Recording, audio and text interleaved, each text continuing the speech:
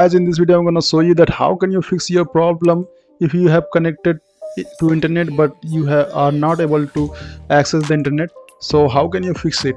I will show you the two method of fixing. Then first of all the first method is i will let's check first. Uh, i am opening my youtube and here you can see uh, connect to the internet. It is showing connect to the internet and you are offline. So how to fix it? Let's do it okay?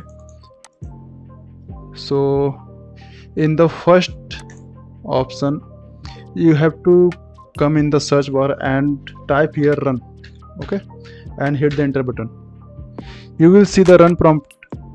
And now here you have to write here ncpa dot cpl okay? And here you will come to the Wi-Fi. So uh, first of all you have to right click on Wi-Fi router and click on disable okay? Disable the Wi-Fi and wait for a few seconds and now again enable it okay now check if the problem is fixed. Uh, wait okay. We are now again connected.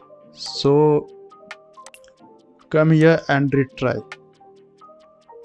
And in my case this is not working. If your case it is working then it is okay. Okay?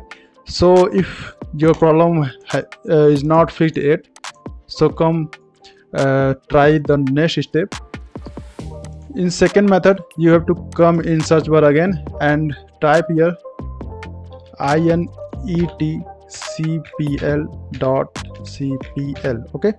And hit the right button uh, enter button. And now you will see the internet properties and you have to come you have to click on connections and go to the LAN settings.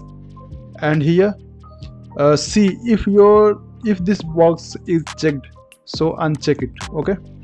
Uncheck it and click on ok and if your apply button is visible then click on apply or click on ok only okay?